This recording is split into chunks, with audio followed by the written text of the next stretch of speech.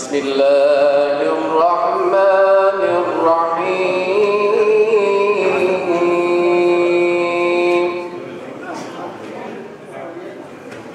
لا يستوي أصحاب النار وأصحاب الجنة. أصحاب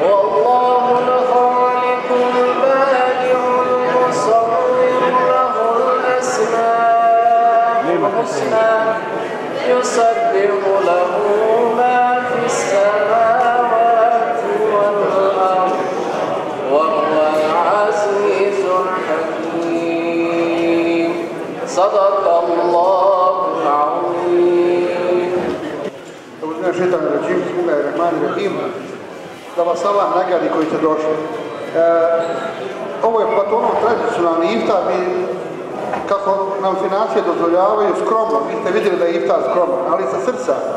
Vidjeli ste da trebate ne očekiti hranu, nego da smo bliski jedni drugima, u stvarnosti jeste stvarni cilj ovog iftara.